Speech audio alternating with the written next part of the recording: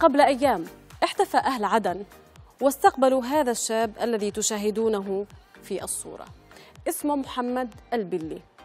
احتفاء كبير ترى ما قصته ولماذا كل هذه الفرحة التي عمت عدن ومواقع التواصل الاجتماعي بعودة محمد إلى يافع؟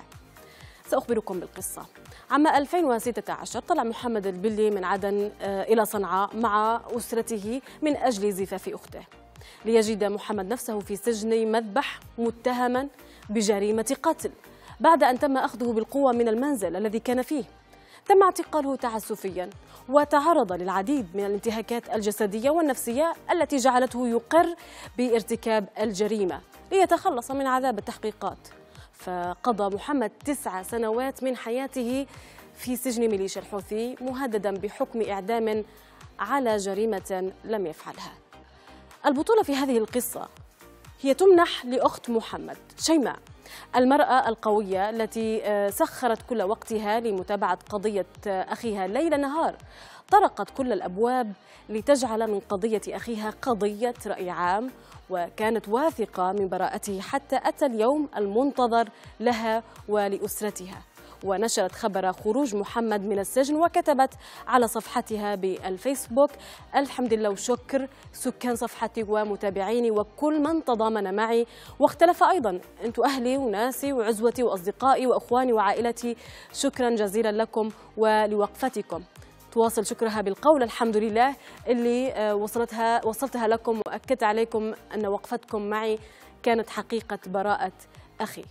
وهنا مشاهدينا دعونا نشاهد لحظة وصول محمد البلي واستقبال أهالي الحي له في خور مكسر بعدن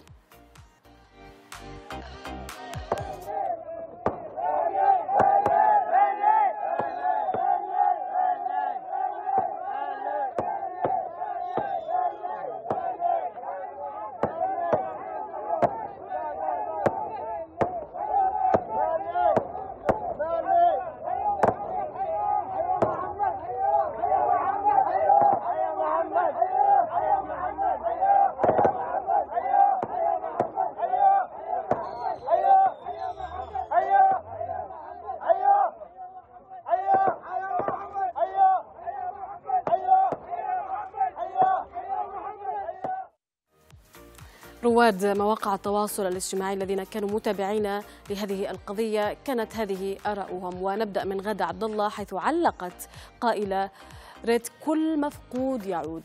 رجوع البلي أثلج صدور الأمهات المكلومات منذ 2015 شيماء البلي كنت بألف امرأة هنيئا لك هذا الانتصار ولا أذاق الله أحد وجع الفقدان. أما مها الأزرق فعلقت قائلة إذا إحنا فرحنا له من كل قلوبنا كيف فرحت أهله فيه؟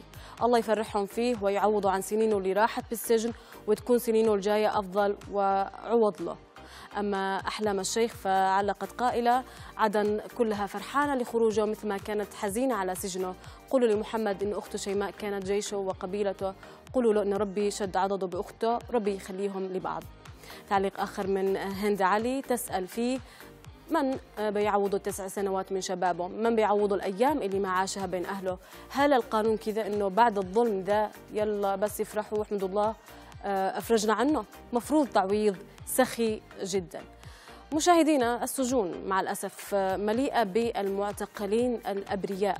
وميليشيا الحوثي اعتقلت منذ انقلابها ما يزيد عن 1600 وعن 16800 مدني خلال الفترة من سبتمبر 2014 وحتى نهاية أغسطس 2022 بحسب تقارير حقوقية.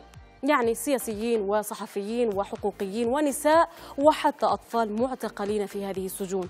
قصص ظلم كثيرة في السجون تأكل من أعمار الناس تماما كما حدث مع محمد.